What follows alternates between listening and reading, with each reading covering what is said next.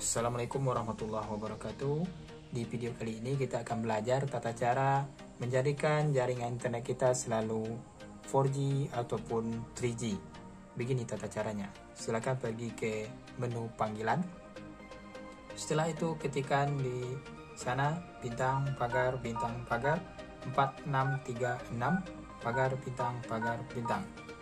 Lalu dia akan merespon seperti ini. Setelah itu pilih informasi telepon yang mana kita jadikan sebagai internet kita misalnya informasi telepon satu.